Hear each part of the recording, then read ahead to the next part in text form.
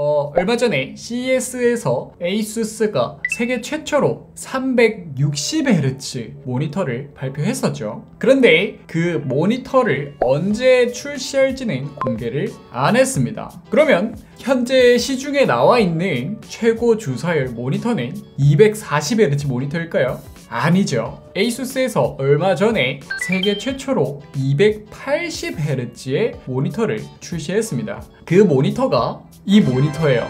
그러면 현재 출시한 모니터들 중에서 가장 높은 주사율을 가진 이 모니터가 어떨지 오늘 한번 알아봅시다.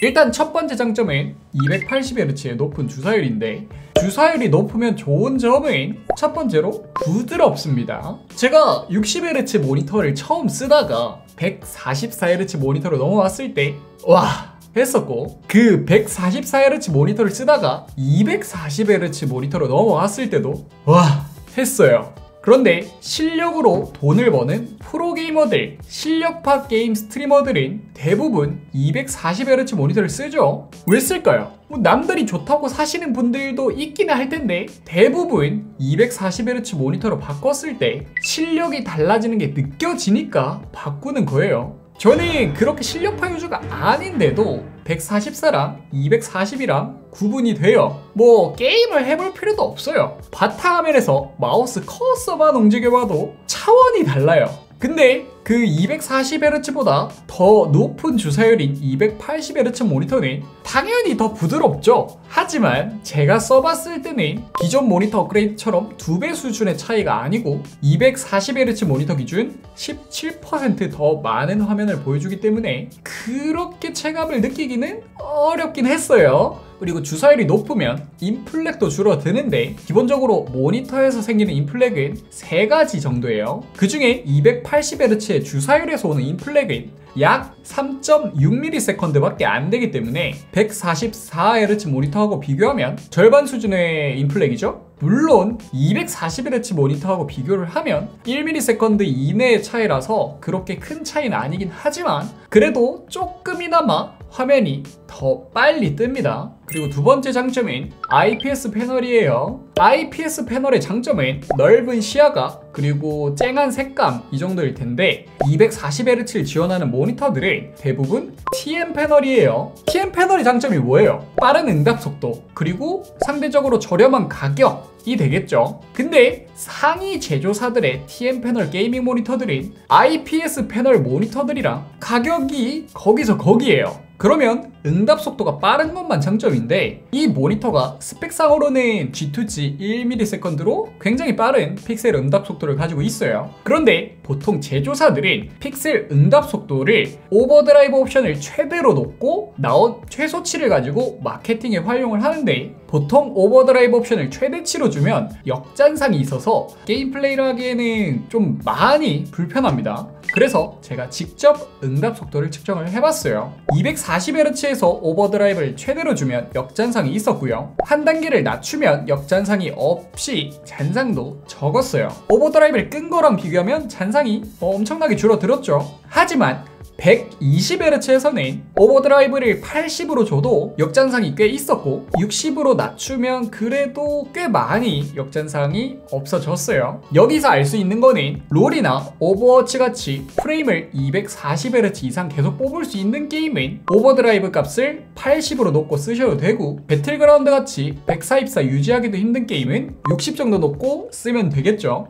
세 번째 장점은 ELMB Sync입니다. 이게 컴퓨텍스 2019에서 에이수스가 발표했던 기능인데 두 가지 기술이 합쳐져 있는 기능이에요. ELMB는 Extreme Low Motion Blur라고 motion blur를 줄여주는 기능이고 Sync는 G-Sync 같이 tearing을 줄여주는 적응형 동기화 기술을 이야기를 하는데 이 모니터는 G-Sync Compatible을 지원합니다. 그래서 이게 왜 새로운 기능이냐면 앞에서 말했던 이 두 개의 기능은 보통 동시에 사용을 할 수가 없어요. 근데 이 모니터는 동시에 사용할 수 있는 겁 일단 ELMB는 아까 오버드라이브 옵션을 최대치로 준 것보다 잔상이 압도적으로 줄어들어요. 아래 하얀 선만 봐도 그 전에 비해서 엄청나게 선명해졌고 저 외계인 눈깔이 아까 전에는 안 보였는데 지금은 아주 잘 보이죠? 지금 테스트했던 것처럼 게임을 했을 때도 이렇게 잔상이 압도적으로 줄어들기 때문에 적이 엄청나게 잘 보입니다. 그러면 이 ELMB 무조건 켜서 쓰면 좋은 거 아니냐? 고 하실 텐데 그거는 또 아니에요. 이 ELMB의 단점이 크게 세 가지 정도 있는데 첫 번째로 역잔상 비슷한 게 생깁니다. 이거를 strobe crosstalk라고 하던데 역잔상이랑 비슷하게 생겨가지고 오버드라이브 값을 조절해서 좀 줄여보려고 했는데 ELMB를 켜면 오버드라이브 옵션은 아예 잠겨버리더라고요. 그래서 ELMB를 켜면 이 상태 그대로 쓰셔야 되는데 물론 제가 직접 게임 해봤을 때는 그렇게 크게 거슬린다 하는 부분은 없었어요. 그리고 두 번째 단점은 최대 밝기가 낮아져요. 원래 이 모니터 최대 밝기가 제가 측정했을 때 388 칸델라가 나왔는데 ELMB를 켰을 때는 174 칸델라가 나왔어요. 이게 모니터가 200 칸델라 아래로 내려가면 생각보다 좀 많이 어두운데 직접 게임 플레이를 해봤을 때도 어두워서 조금 거슬리긴 했어요. 그리고 세 번째 단점은 이 ELMB라는 게 백라이트를 깜빡깜빡거리면서 잔상을 줄여주는 거기 때문에 모니터의 깜빡임을 없애줘서 눈을 보호해준다는 그 flicker free 그게 의미가 없게 돼요. 이거는 motion blur reduction 기능을 사용하는 전 제조사의 공통사항인데 에이수스의 ELMB 같은 motion blur reduction 기능은 flicker를 발생시켜서 눈이 피로해질 수가 있어요.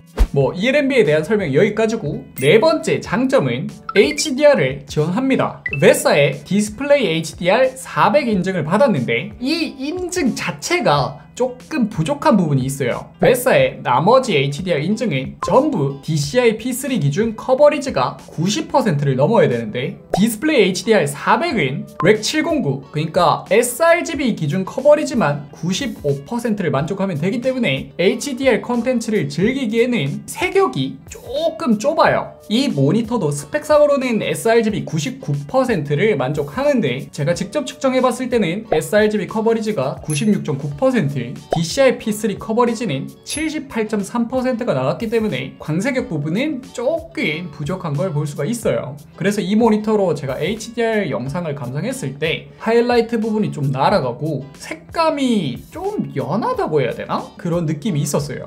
이 색감 부분에 제가 HDR을 제대로 지원하는 모니터랑 양쪽에 놓고 비교를 한 게 아니기 때문에 그 부분을 좀 걸러 들으셔도 되긴 합니다.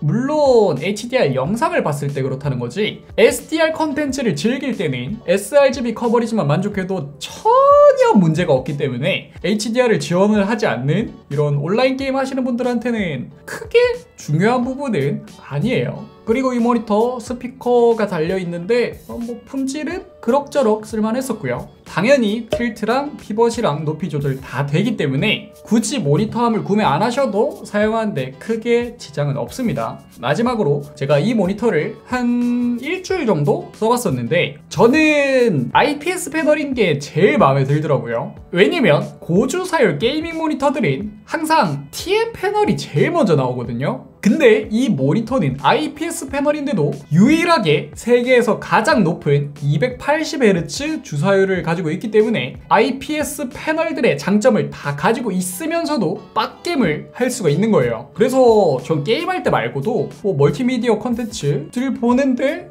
잘 썼었어요. 지금 유일하게 에이수스만 280Hz 모니터를 가지고 있고 360Hz 모니터까지 발표를 했기 때문에 내년쯤에 300Hz 모니터를 출시한다면 진짜 gaming 모니터들 중에서 주사율 부분 하나만큼은 독보적인 위치지 않을까 생각이 됩니다. 제가 이번 연도 CES를 한번 갔었다면 그걸 써왔을 텐데 내년 CES는 한번 가보려고 노력을 해봐야겠습니다. 그럼 오늘 영상은 여기까지고요. 오늘 영상 마음에 드셨다면 좋아요, 별로라면 싫어요 누르시고 네, 안쟁이 여러분 오늘 영상 봐주셔서 감사하고요.